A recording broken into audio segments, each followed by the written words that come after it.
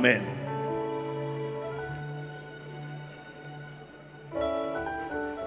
Dios me los bendiga, Dios me los guarde. Y que la gracia de Dios se manifieste sobre ustedes en esta noche.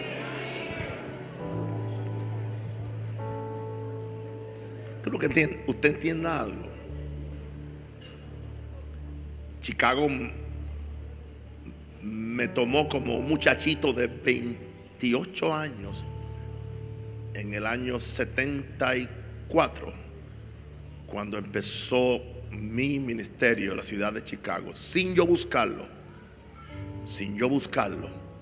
Me invitaron a una reunión un domingo y yo fui y el que tenía la reunión, cuando acabó el culto, dijo, el hermano Raúl Rosario regresa otra vez el domingo próximo, vengan. Yo no podía contradecir al muchacho, era amigo mío. Yo digo, pero ¿qué le pasa a este cabezón? Yo no estoy buscando ser pastor ni nada. Bueno, para no hacerlo quedar mal, regresé el otro domingo y el otro domingo yo dije, voy a predicar, pero yo no quiero que se convierta a nadie. El primer domingo se convirtieron dos sin yo hacer la llamada que yo no quería que se que yo no quería ovejas para pastorear.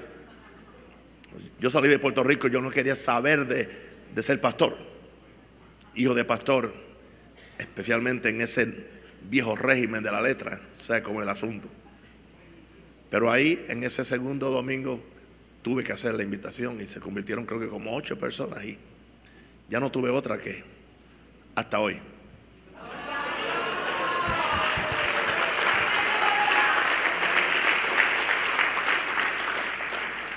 Pero a ellos le tocó el jovencito aprendiendo, a ustedes le tocó un decano.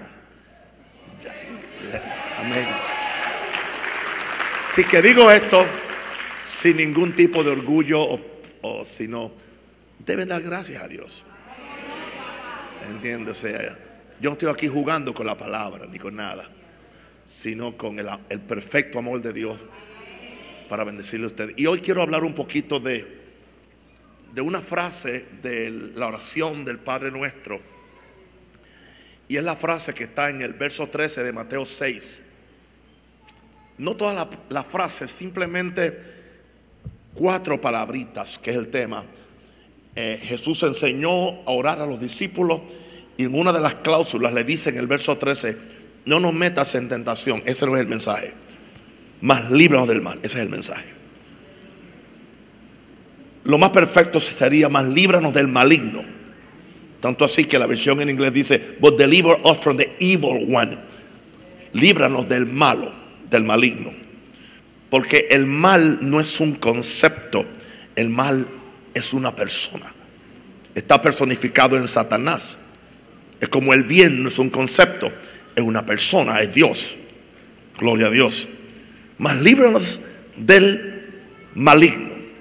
Muchas veces nosotros no le damos la importancia a ciertas cosas que son deberían ser tan obvias, pero tenemos la tendencia a familiarizarnos tanto con, con algunos versos y con algunas eh, cosas que la Biblia dice que como que no, como que no, pero hay un momento cuando algo te, te ministra, más líbranos del malo.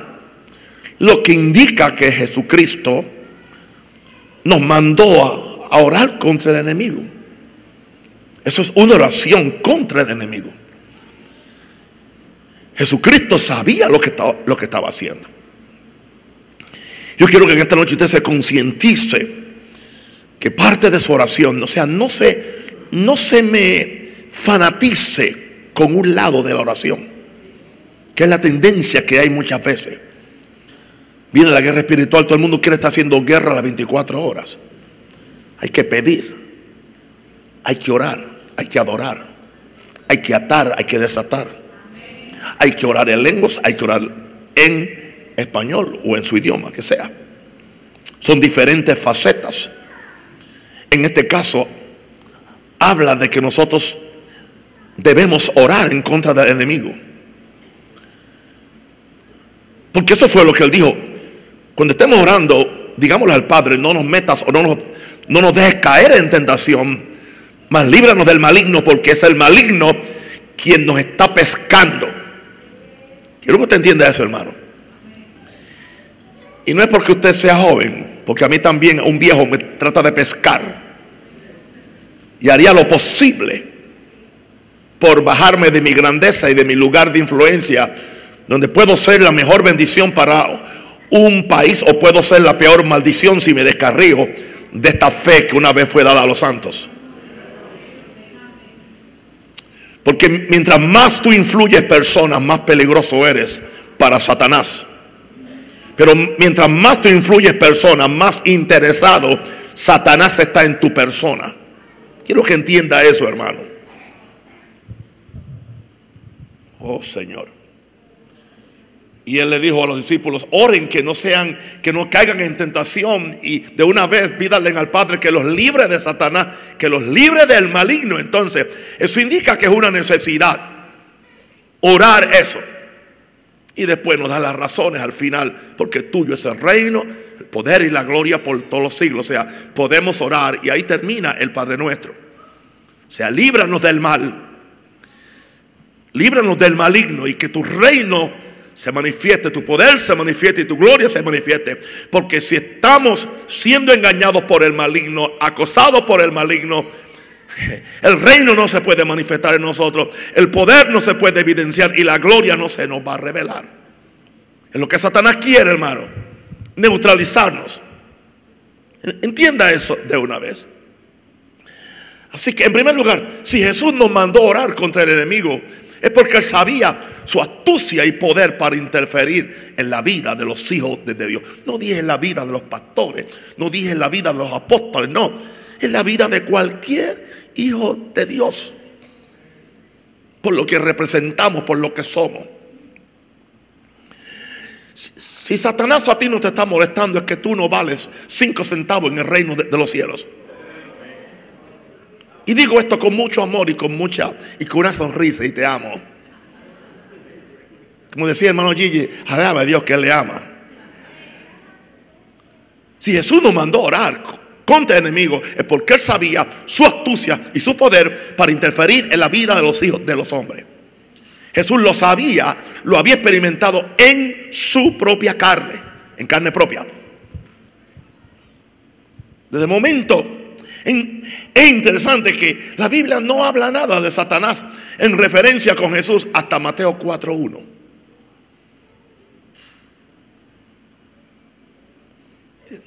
Claro, sabemos que no con Jesús directamente, pero trató de matar a Jesús usando a Herodes. Aquí el ataque fue contra los padres. Los padres tuvieron que salir huyendo. Y usted sabe que Jesús se crió sin, sin compañeros, sin compañeros de juego, porque todos los niños de su edad, eh, Herodes los mandó a, a exterminar. Una masacre infantil que hizo. Se le llama el día de los inocentes, creo, en el calendario católico. Sí.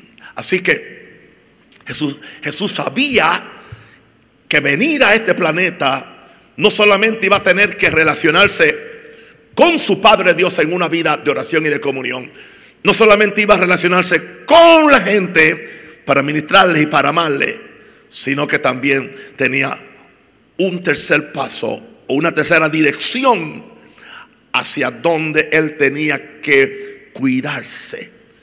Y este es el problema que tenemos, no que tienen ustedes, que tenemos todo. ¿Por qué? Nos enfatizamos tanto en la relación con Dios y eso es maravilloso, la adoración, la oración, tremendo. Estamos ocupadísimos haciendo la obra del Señor. Si somos gente que amamos a Dios, amamos a la gente. Pero en el proceso se nos puede, eh, se nos puede eh, olvidar lo tercero, el enemigo, Satanás. Que en primer lugar está enojado porque tú estás agradando a Dios. ¿Ok? En segundo lugar, Él no quiere que tú bendigas a la gente. Él ayuda al que le vende la droga a los muchachitos. Aleluya. Él le puede hasta cerrar los ojos a los policías para que el traficante vaya y, pase lo que sea. Porque ese es su mundo. Ese es el mundo que Él controla. Porque el mundo está, dijo, dice Juan, bajo el maligno. Tengamos esto de una vez. Así que hay que sobrevivir. Hay que pelear. Hay que prevalecer.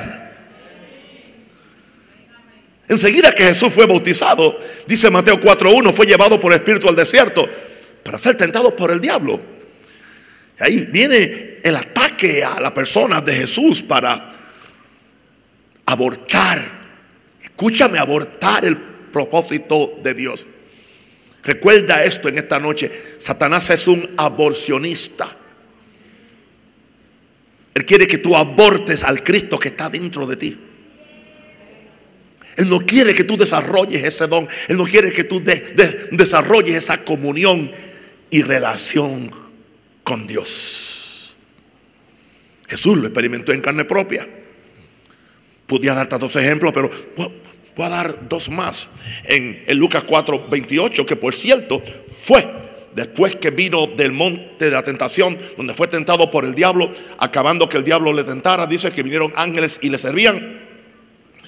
En Lucas dice que vino, vino, regresó a Nazaret donde se había, donde se había criado, entró en la sinagoga, tomó el libro de Isaías, leyó la parte donde, está, donde estaba la plataforma de Jesús, que debe ser la plataforma de la iglesia. El Espíritu del Señor está sobre mí, porque el Señor me ha ungido para predicar nueva a los pobres, etcétera, etcétera, etcétera. Y entonces, al terminar, Él dice, hoy se han cumplido estas palabras al frente de ustedes. Y dice entonces enseguida, para que ustedes vean la operación activa del diablo, en el verso 28, al oír estas cosas, todos en la sinagoga se llenaron de ira. El diablo estaba en la sinagoga. El diablo estaba en los líderes de la, sinagoga. Uno de los mejores instrumentos para el diablo se llama religión. Porque la religión se disfraza de piedad, se disfraza de servicio a Dios. Tanto que alguna gente a nombre de la religión creen que pueden matar a otro. Pregúntale a los musulmanes. Así que todos en la se llenaron de ira porque apareció alguien que no era de su denominación. O que, o que no hablaba como ellos. Y levantándose, le echaron fuera de la ciudad.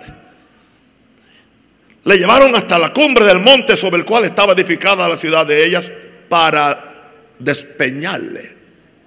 El diablo. Jesús sabía que el enemigo tenía astucia y poder para interferir en la vida de, los hijos. Ahí dice, cómo lo llevaron, lo trataron de tirar por el barranco, mas él pasó por en medio de ellos y se fue. Sucede, empezando por Naúm Rosario, a mí se me olvida esto. Y muchas veces solamente reaccionamos a esto cuando nos damos cuenta de la presión que Satanás está ejerciendo en nosotros en alguna área, porque como que, como que no le dimos tanta importancia. Y muchas veces la razón por la cual quizás no le damos tanta importancia es porque como se ha relajado tanto el asunto este de la guerra espiritual y luchar con el diablo, pero tampoco podemos ignorar sus maquinaciones. Hay un balance entre los dos extremos. Vamos a darle otro ejemplo de Satanás tratando de matar a Jesús y los discípulos. En Marcos 4, 35, 37. Le estoy hoy predicando por qué tenemos que orar contra Satanás en, nuestra vida. Aquel día cuando llegó la noche, les dijo a los discípulos, pasemos al otro lado. Vamos a pasar al otro lado. Hay algo que hacer en el otro lado. Y despidiendo a la multitud, le tomaron como estaba en la barca. Y había también con él otras barcas. Pero se levantó una gran tempestad de viento y echaba las olas en la barca de tal manera que ya se anegaba que quería ser el diablo. Esta tempestad no fue natural. Hay tempestades que son naturales, pero hay, tempestades que simplemente las envía el diablo. Se levantó una gran tempestad de viento y echaba las olas en la barca de tal manera que ya se, se anegaba. ¿Se acuerda cuando Satanás trató de matar a Pablo en la embarcación y Pablo tuvo que salir afuera en una tabla? Y no contento porque Pablo salió afuera en una tabla a la isla de Malta o, de Melita, cuando se está calentando en el fuego, que salió del fuego una serpiente y lo mordió. Insistente Lucifer, hermano. Tiene diferentes formas de pescarte o de pescarnos. Cuidémonos. Andemos alerta. Estemos alerta. Y si usted no es una persona de oración, usted se va a embrutecer espiritualmente. Y usted no va a poder estar agudizado. Usted tiene que estar agudizado, hermano. Hermano, la oración te agudiza los sentidos. Te da discernimiento para tú entender y saber.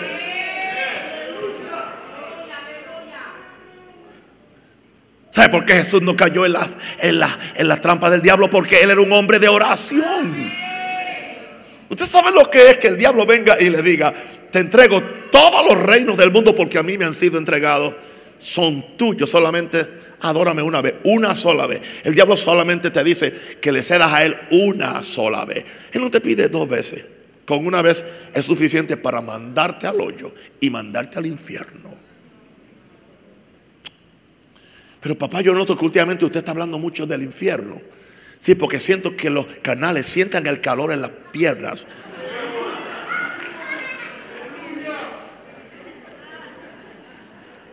Y en la eternidad me vas a buscar por todo el cielo. Yo quiero darle las gracias a ese predicador atrevido que llegó a Panamá y que se atrevió a hablar lo que nadie estaba hablando ya.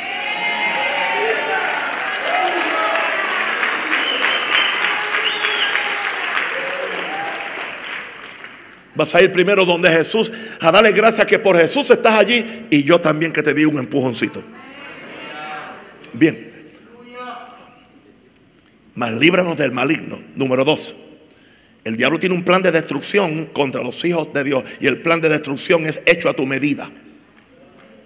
Es hecho a tu medida. Lo que te destruye a ti no me destruye a mí. Lo que te tienta a ti no me tienta a mí. Él conoce, Él te conoce. Recuerda que Él tiene, Él sabe quién tú eres, cómo naciste. Hay demonios asignados a tu persona, como hay un ángel asignado a tu persona. Tú decides a quién le vas a obedecer. Hay dos tipos de pensamiento. Yo creo que los ángeles buenos ponen buenos pensamientos, los demonios ponen malos pensamientos. El diablo tiene un plan de destrucción contra los hijos de Dios. Jesús nos dice en Juan 10:10, 10, el ladrón no viene sino para tres cosas, hurtar, matar y destruir. Pero viene. Jesús nos dijo que no viene. La, iglesia ahora dice, el, gloria a Dios que el ladrón no viene, aleluya, demos gloria a Dios. No, no, no. Jesús no se quedó ahí en un punto, dice, no viene sino para tres cosas, porque Él viene. Y cuando viene, viene para hurtar y viene armado, viene apertrechado para hurtar, matarte y destruirte. Recuerda eso. Jesús dijo, diferente a mí, yo he venido para que tengan vida y para que la tengan en, en abundancia. Así que si Jesús nos advirtió porque jugamos con la serpiente. Hermano, yo no quiero una serpiente ni de mascota. Yo no quiero una serpiente ni, ni en la pantalla de mi, de, de mi iPad ni en la pantalla de mi teléfono. Yo no puedo ver cristianos que, que le gustan las, las serpientes. Usted no le debe, usted debe odiar la serpiente. Señores. Jesús dijo, yo vengo para que tengan vida. El diablo viene a quitarte la vida. Yo vengo para que tenga vida en abundancia. El diablo quiere que vivas una vida raquítica. Y si tú eres una amenaza para su reino, te la va a tratar de cortar. Porque esa es su naturaleza. Eso es lo que él es. Aleluya. Así que él tiene un plan de destrucción contra los hijos de Dios. Ya le dije cómo trató de destruir a Pablo. ¿Se acuerdan cuando tuvo el éxito que eh, convenció a Herodes para que matara a Jacobo, el, primer, el primero de, los apóstoles que sufrió la ira diabólica del rey Herodes? Y como vio que esto le, le agradó a los judíos, metió a Pedro en la cárcel, esperando que pasara la fiesta para entonces también degollarlo. Pero ¿qué sucedió? La iglesia se dio cuenta. Se acordó que había que orar contra el diablo y le, voy a, decir el poder acumulativo o extensivo que puede tener la oración, que usted ore por algo y no solamente sucede ese algo, sino que puede rebotar en algo mayor. Porque dice que la iglesia hacía oración continuamente por la libertad de Pedro. Como consecuencia, los ángeles fueron activados. Un ángel fue, lo despertó, lo sacó de la cárcel. Aleluya, las puertas se abrieron solas. Él llegó a casa de donde estaban orando. Una muchacha Rode contesta. Nadie le creía a Rode. Estaban orando y, no creyeron los que estaban orando. ¿Y qué sucedió? Herodes no pudo matarlo, pero la, la oración que ellos hicieron, ellos no estaban orando para matar a Herodes. Pero un poco tiempo después de eso, Herodes salió y empezó a arengar, empezó a hablarle, a hacer un, un, rally político y para ganarse el favor de alguna gente. Y empezó a hablar muy poéticamente, muy como hablan estos políticos que no tienen otra cosa que hacer. Y la gente empezó a decir, wow, esa es la voz, esa es la voz de un Dios. No es un hombre, es un Dios. Y él aceptó eso, aceptó eso, se lo comió. Se comió la adulación de la gente, donde la gente lo comparó con un Dios. Y dice que un ángel, un ángel, un ángel, lo hirió. Un ángel lo hirió, le dio un machetazo. ¿Usted cree que los ángeles de Dios no matan gente? Siga durmiendo ese lado para que usted vea. Los ángeles de, de Dios tienen la autoridad tienen la autoridad. Una pregunta. ¿Quién mató a Anaí Zafira? ¿Fue el diablo o fue Dios? Fue Dios, no fue el diablo. Maestros de fe que quieren hacer a Dios tan bueno que le impiden que mate a nadie. Y fue un apóstol quien se lo recordó. Un verdadero apóstol. Gloria a Dios. Pero Dios no puede usarlo apóstoles para decirle a los que se están robando la finanza porque quizás ellos también se la están robando.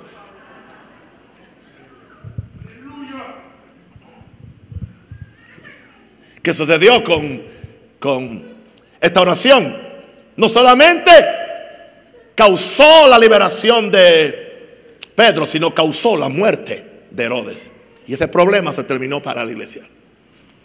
Cuando oramos contra el maligno. No es que estamos orando contra personas. No, no, no, no. Eso no es. Nuestra lucha no es contra carne ni, sangre. Recuerde, nuestra lucha no es contra carne ni sangre. Ahora, la razón por la cual oramos por el diablo, en contra del diablo, no por el diablo, en contra del diablo. No ore por él, por favor, ore en contra de él. Él es el Dios de este mundo. Y como él es el Dios de este mundo y el mundo entero está bajo el maligno, nosotros para él somos como unos intrusos. Nosotros somos la, oposición. Somos la oposición y Él persigue a los que somos del mundo celestial. Nosotros no le caemos bien. Va a tratar de dañar nuestra imagen, dañar nuestra, nuestra, nuestra autoestima, nuestro valor interno. Va a tratar de hacer todo lo posible y cuando no pueda hacer eso, va a tratar de enfermarnos, va a tratar de, en algunos casos, aún quitarnos la, la, vida. Yeah. Según Corintios 4:4 dice que el Dios de este siglo cegó el entendimiento. Así que Él tiene, tiene una función de, de perseguir a la gente.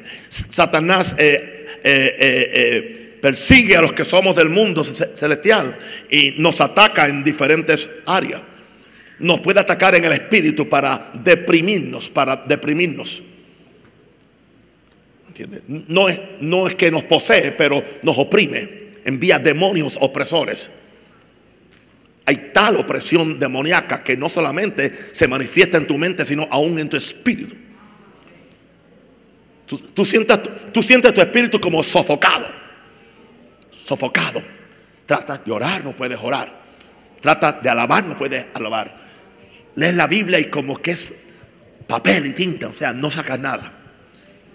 Gloria a Dios por la oración en el Espíritu Santo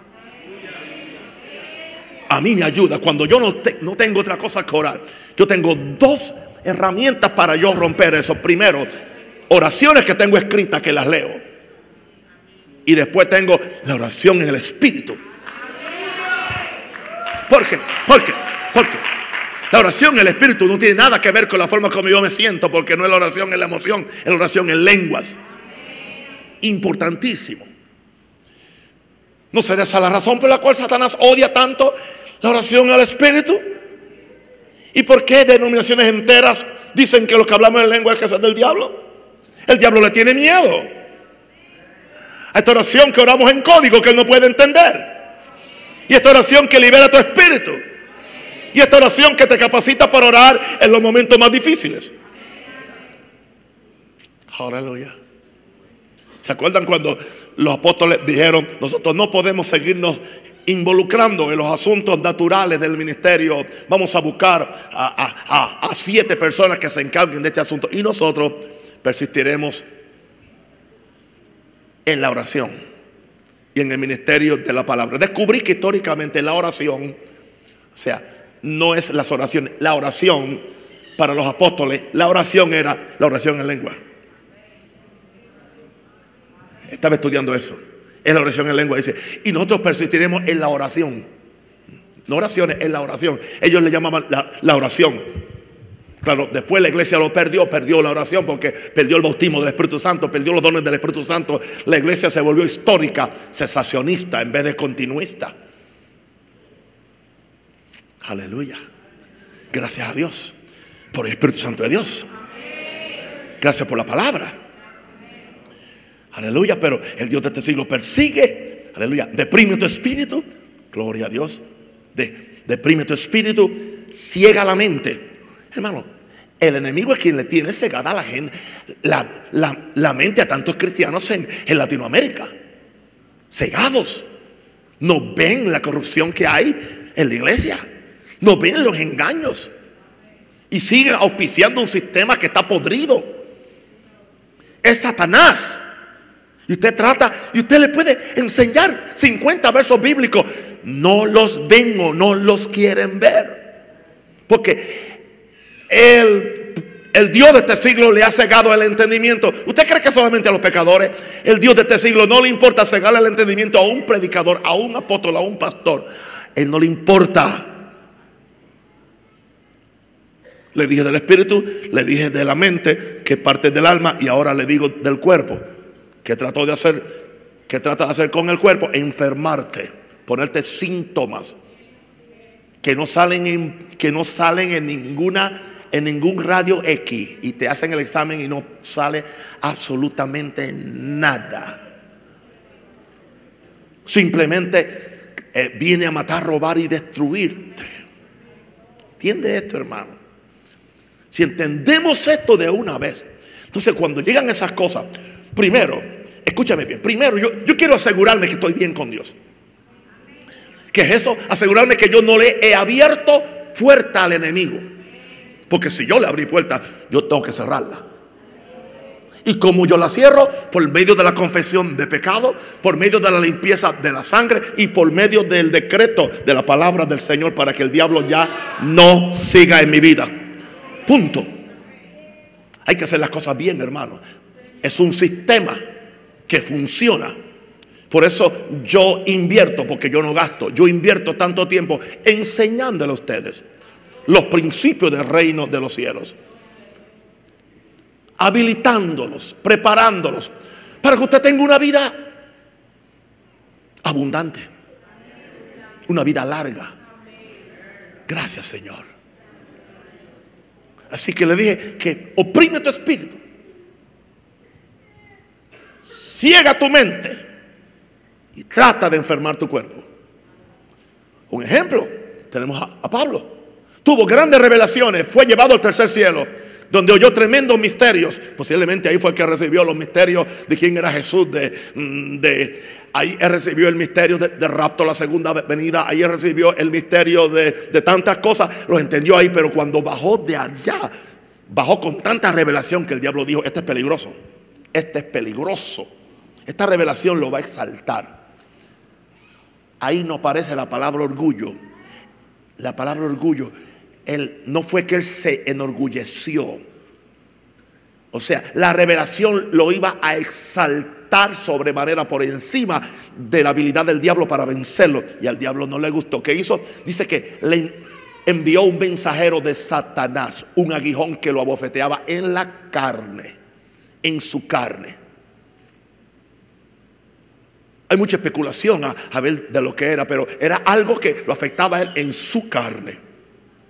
Lo afectaba físicamente. No solamente espiritualmente, físicamente. Satanás puede enviar aguijones a su carne. Claro, él tuvo que orar. Oró tres veces y aparentemente, como dicen los teólogos, Dios dijo que no. Dios no dijo que no. Dios le dijo, mi gracia te basta. Usa mi gracia. Camina en mi gracia y con mi gracia tú me resistes. Y él lo hizo. Porque dijo, me, gozaré en mis debilidades. O sea, ese aguijón lo debilitaba a él.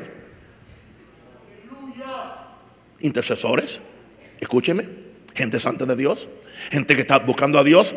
Hay momentos cuando te debilitas el cuerpo. Yo hablo por experiencia, sin ninguna, sin ninguna razón particular. Debilidad física. Pero por eso dice que el Espíritu nos ayuda en nuestra debilidad física. Por eso yo, yo he aprendido el propósito de la oración, el espíritu. Porque yo sobrepaso, me voy por encima de la mente, me voy por encima de mis sentimientos, me voy por encima de, de mis emociones. Y mi espíritu va directamente a Dios y le dice a Dios exactamente lo que yo necesito. Y como Satanás no puede entender esa oración en código, aleluya, el Espíritu está orando por mí especialmente. Porque es por mi debilidad. O sea, no es por la tuya, es por la mía. Hay otras ocasiones donde, donde yo intercedo en lenguas por otro, pero en este caso no, en este caso es en mi debilidad. Por causa de mi debilidad. Es que hay tantas cosas que no hemos practicado. Es el peligro cuando, cuando el cristianismo se ha vuelto religión en vez de una relación, una revelación. Aleluya. Wow. Si lo hizo con Pablo. Ahora, por lo tanto, número cuatro. Oremos para que tengamos un escudo de protección contra las muchas acechanzas del diablo. Oremos, oremos para que tengamos un escudo de protección contra las muchas acechanzas del diablo. Mis hermanos allá, en la 24 de diciembre, mis hermanos allá, aleluya, en el oeste, mis hermanos en Colón, mis hermanos que me están viendo por las redes o que están viendo este, este video. Oramos, oremos para que tengamos un escudo de, de protección contra las muchas acechanzas del enemigo. Por esta razón yo le pido a ustedes, oren por mí. Por eso yo le pido a ustedes, aleluya, cúbrame oración, cúbrame. Cúbrame, escudo, a shield of prayer, un escudo de oración. Usted tiene que tener un escudo de oración alrededor de sus pastores. Los esposos deben cubrir a sus esposas con escudo de oración. Padre y madre deben cubrir a sus hijos con, un escudo de, de oración. A prayer shield. Ok.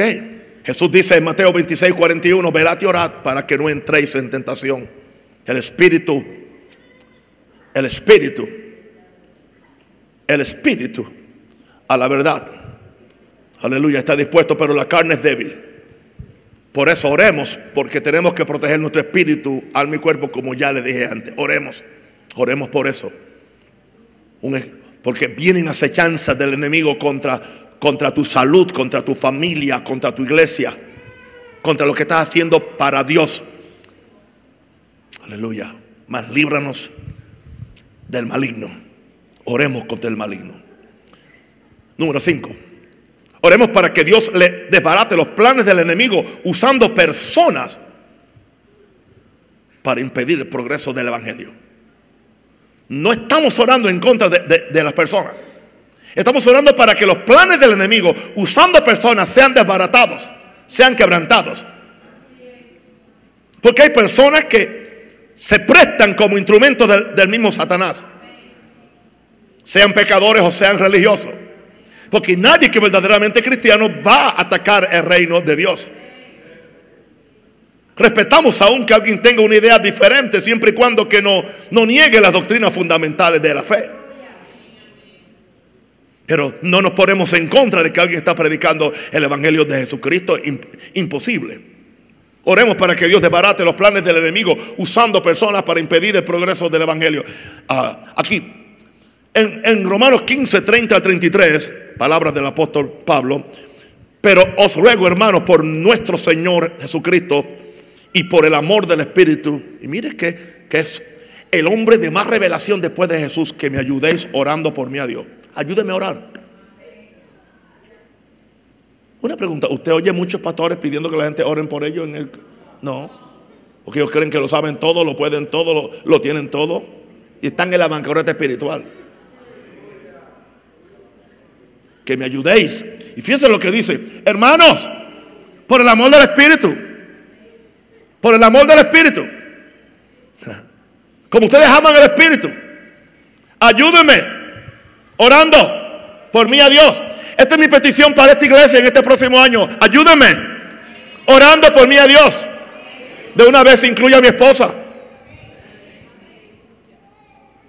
Incluye al pastor Vladimir. Incluye a los líderes del, de, del Evangelio cambia.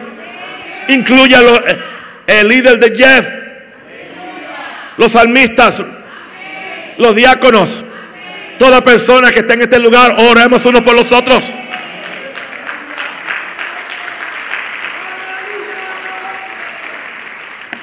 Yo no sé por qué la gente tiene esa manía siempre buscando ministerios donde ellos quieren brillar.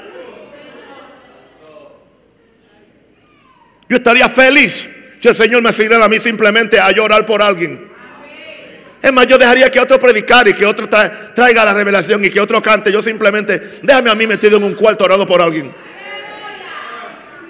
Yo creía que eso era lo que yo iba a hacer a los 70, que yo me iba a poder retirar a algún lugar, ¿entiendes? A, orar para que otro creciera, para que otro predicara. Y yo, yo simplemente iba, aleluya, iba a compartir el tiempo entre, entre mis nietos y la oración ya. Pero Dios tenía otra idea.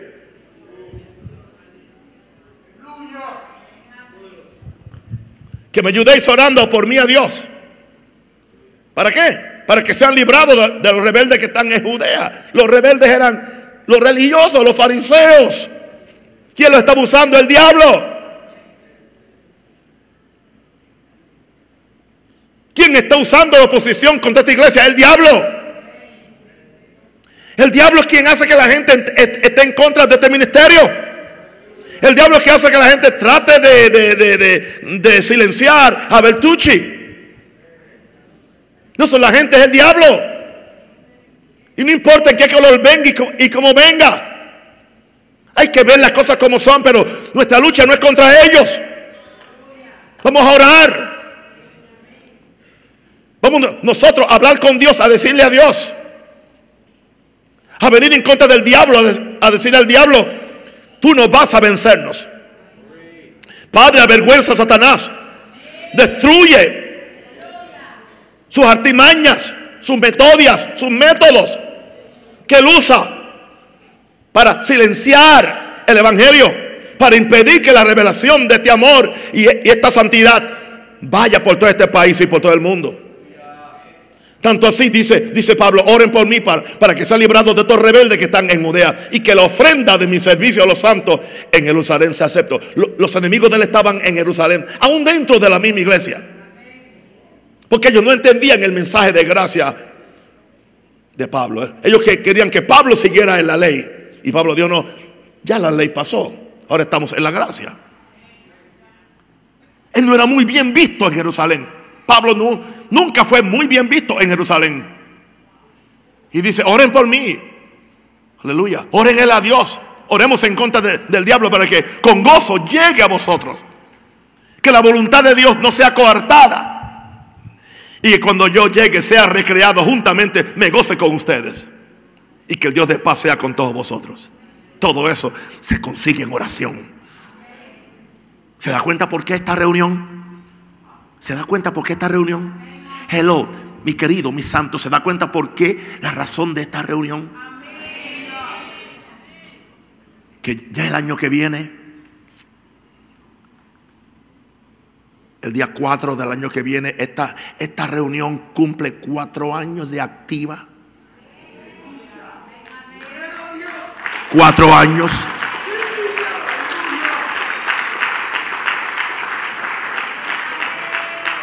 Yo le garantizo que no, que lo que hemos visto en cuatro años no hubiera sido posible si no tuviéramos este énfasis.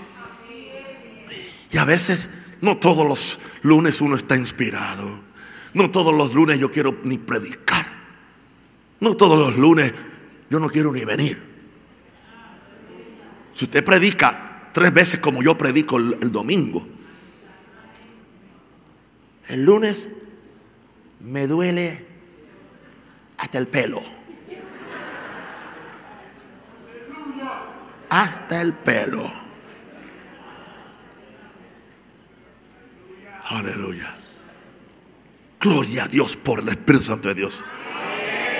Pero sabe lo que a mí me bendice, saber que los tengo ustedes orando por mí.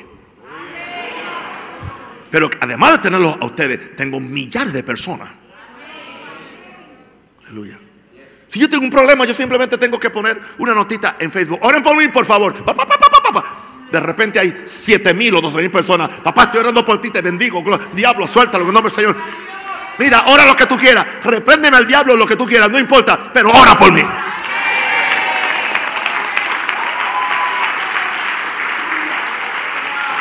A mí no me importa la exactitud teológica de tu oración, pero ora. Tranquilo, ora. Que el Espíritu Santo sabe santamente. Aun si tú no lo dices bien, Él lo pone bien. Oremos unos por los otros. Oremos unos por los otros. Santo el Señor. ¿Por qué no levantamos la mano y oremos ahora para que el Señor quebrante todos los planes en contra de este ministerio? Padre, en el nombre del Señor, avergüenza al diablo. Avergüenza al diablo, avergüénzalo. Avergüénzalo. Avergüénzalo. Aleluya, avergüénzalo. A Satanás, venimos en contra de Satanás. Él no va a impedir que esta obra siga creciendo. Él no va a librar de hombres malos y perversos. Él no va a librar de hombres y mujeres oportunistas que no tienen la mirada puesta en el reino de Dios, sino en ellos mismos. Líbrame de gente mala. Líbrame de gente misteriosa. Líbrame de aquellos que no tienen la visión del reino de Dios. Dame discernimiento, Padre. Dame discernimiento. Dame sabiduría. Dame astucia. Santa. Astucia, pero que sea santa. Para ver quién es y quién no es. En el nombre del Señor. Mas líbranos del maligno. Número 6. Oremos para que nuestra fe no nos falte al ser zarandeados por Satanás. Porque Satanás zarandeó a Pedro. Jesús le dijo a Pedro en Lucas 22, 31, dijo también el Señor, Simón, Simón, y aquí Satanás os ha pedido para zarandearos como a trigo, indicando que el diablo iba a soplar una tormenta en contra de él para tumbarlo. O sea, el plan de Satanás era peor que lo que le aconteció a él era peor. Posiblemente era para que no solamente lo negara, que lo traicionara como lo que hizo Judas. Oh Señor. Qué interesante que Jesús no oró por Judas. Para que Judas no hiciera lo que iba a hacer. No sintió la dirección. Pero con Simón dijo, he aquí, Satanás os ha pedido, ha pedido permiso en el reino espiritual para zarandearte como a trigo. Pero yo estoy orando por ti. Jesús orando por Simón. Escucha esto, querido. Cheer up, anímate, alégrate. Porque si tú no sabes que el mismo Jesús que oró por Pedro está a la mano derecha del Padre, orando por ti. Porque Él ve muy claro la forma como Satanás viene a zarandearte. Pero por favor, no abuses la gracia. No corras hacia, hacia el camino del pecado. Huye del pecado. Porque juntamente con la tentación viene la salida. Corre hacia la salida. Y yo te garantizo, en el nombre de Jesús, que aunque Satanás viene para zarandearte como a trigo, Jesús está orando por ti para que en ese momento tu fe no falte.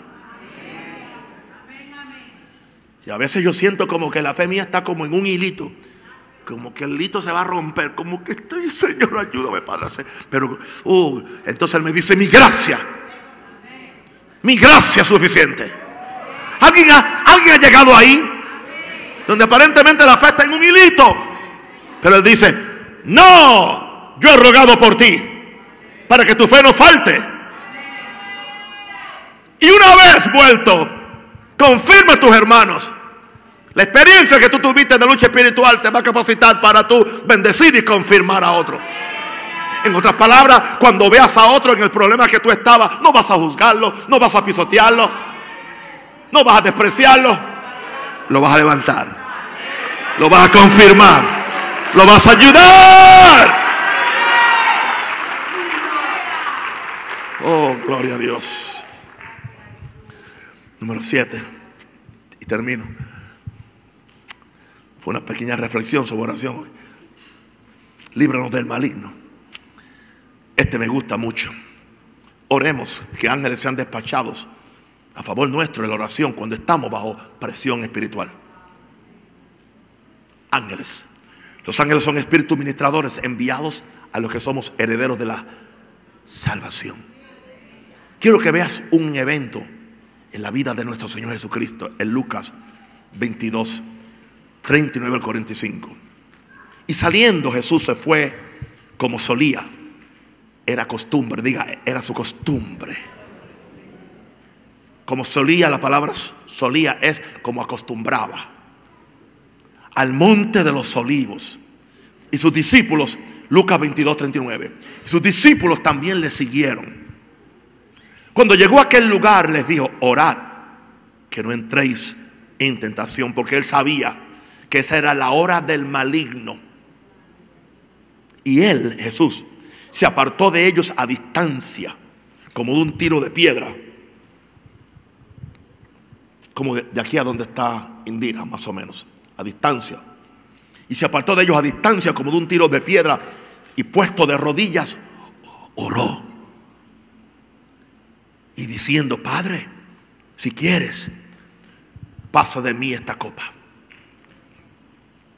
pero no se haga mi voluntad, sino la tuya. Wow. Jesús no quería morir. Hello. Con todo el amor que tenía al mundo, su humanidad estaba viva. Él sabía el dolor que su cuerpo. Jesús tenía un Jesús tenía un cuerpo, tenía una carne como la tuya. Si se daba un, si se daba un tropezón con, con un tocón, él le salía sangre. No crea que porque era Jesús que él, no, no. Él era humano. Se cansaba, le, daba sed, sudaba, iba al baño también. Diciendo, Padre, si quiere, pásame esta copa. Otra, otra palabra. Hay otra forma de que se haga sin que yo muera.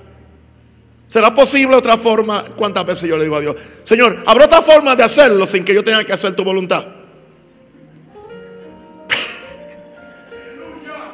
Pero no se haga mi voluntad, sino la tuya.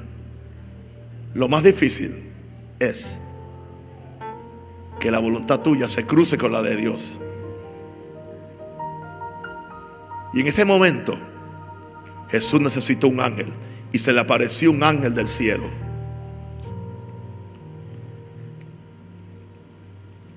Para fortalecerle. Yo creo que si el Padre que está en los cielos ama a Jesús, te ama a ti también. Yo quiero hablar contigo, el peor que se sienta aquí que le ha fallado a Dios o que es débil en alguna área. Jesús, el Padre te ama como amó a Jesús. Y a Jesús en el momento de su prueba le envió un ángel para fortalecerlo. Espiritualmente, mentalmente, físicamente un ángel para fortalecerlo. Y estando en agonía, ¿por qué pudo orar más intensamente? Porque el ángel le fortalecía, estaba ahí. Y su sudor era como grandes gotas de sangre que caían hasta la tierra. Cuando se levantó de la oración y vino a sus discípulos, los halló durmiendo a causa de la tristeza. Quiero decirte, hermano, gente de propósito y gente de visión, yo necesito que el Señor despache ángeles a favor mío en la oración. ¿Por qué? Porque el que me está fustigando, el que me quiere destruir, el que me quiere matar antes de que yo cumpla mi propósito, el que me quiere enfermar, el que tira gente en contra mía, a un gente que me amaba antes, es Satanás. Pues entonces yo necesito la contraparte de Satanás, porque yo solo no puedo hacerlo. Con toda la fe que tenga. Pero entonces está el ángel del Señor que acampa alrededor de los que le temen y lo defiende. Oremos contra el diablo y pidamos ángeles. Señor, yo no envío ángeles, envía tu ángel. Envía tu gracia. En mi momento de mayor necesidad, pido tu gracia para mi debilidad. ¿Por qué no levantamos las manos? Ahí, quédese sentadito, no tiene que ponerse, quédese sentadito. Vamos a orar. Padre, hay muchas personas aquí pasando por distintas situaciones. No estamos aquí para juzgar, condenar o quemar a nadie. Estamos aquí para que el amor tuyo se manifieste. Líbranos del maligno, Señor. Oramos que nos libre, más líbranos del maligno, más líbranos del maligno. Damos la revelación que nuestra lucha no es contra carne ni sangre. Toda enfermedad que el maligno ha traído a mi cuerpo o al cuerpo de cualquier persona sea sanada, sea inutilizada. Señor, todos esos dolores de cuerpo que me atacan a mí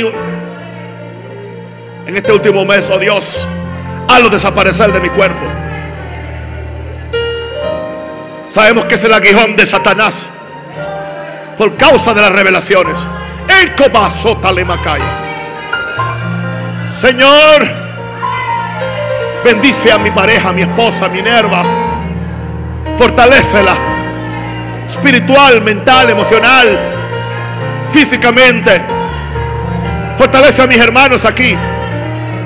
Fortalece, Señor, al apóstol Hugo, al apóstol Bertucci, a mis directores nacionales, a los pastores de este ministerio. Bendice aquí a mis hermanos, a mis hijos. Venga tu gracia. Tu gracia la Macaya. Danos revelación de que Satanás viene a robar, matar y destruir. Padre, despacha a tus ángeles para que en el momento de dolor nos ayuden, nos levanten Sigue orando, sigue orando, da gracias. Oh, aleluya. Gracias. Gracias, Padre. Basha la vaca, ti la vaya. Quita la Intercesores van a ser bendecidos, van a ser fortalecidos. Usted no va a caer. Su fe no le va a fallar. Tu fe no te va a faltar.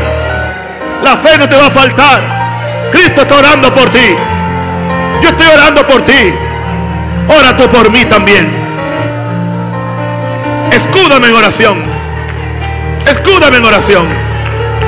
Oh, glory to God. En el nombre de Jesús. Gracias, Padre. Gracias, Padre. Gracias, Padre. Como el Espíritu nos ayuda en nuestra debilidad. Gloria a Dios. Si usted tiene, aleluya, el don de lenguas para orar, usted puede orar ahora, aún en su debilidad, por sus hermanos. Shalamakoteriandalama. Riabakoterebe koterebe kondaramahaya.